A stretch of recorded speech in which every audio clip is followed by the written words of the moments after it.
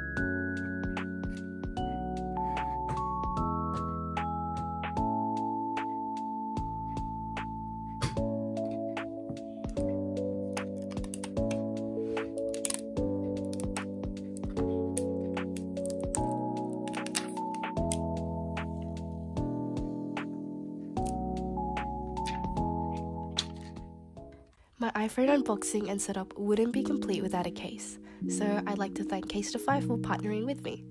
Casetify offers phone cases with a wide variety of cute designs and styles. I especially love their mirror cases, which I customized with my name on the side, and I chose this black color font to match with my phone.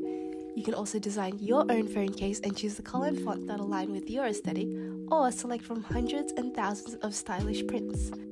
I've also chosen these two Impact and Ultra Impact cases, which feature the newest Eco Shock technology and provide extra protection for my new phone, so I don't have to worry about accidentally dropping my phone, as they are now up to 5 times military grade standard in terms of drop protection.